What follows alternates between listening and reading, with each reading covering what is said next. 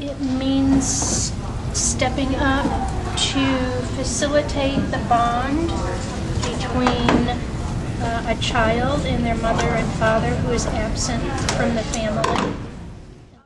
My favorite thing about Angel Tree is seeing the kids' faces light up when they open their presents that they're getting from their parents, and just being able to to be a part of uh, reconnecting that parent with their child is why we work so hard on it all year round.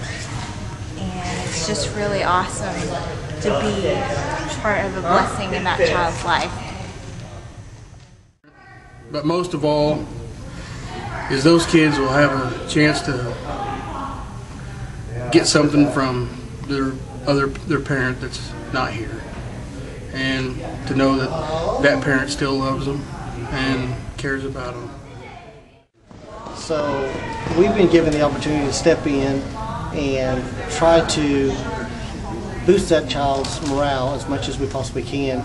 And in children's minds, it is with, with the gift, and, and to be able to see that parent's name on that gift and let them know it's from that parent, it just it's just a joy to watch their face and see them smile.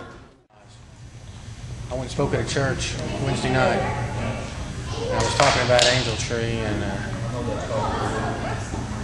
what's going on around it, what it does. I had a guy come up to me with tears in his eyes afterwards telling me how much difference it made in his child's life when he was in prison.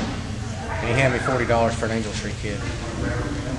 You really don't understand the impact that ministry like this has on, on people.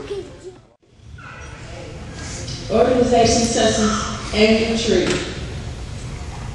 It's such a relief for mothers incarcerated to know that their baby gonna be something. Yeah. Because the grandma or the cousin or whoever is struggling to know that my baby gonna be something. Somebody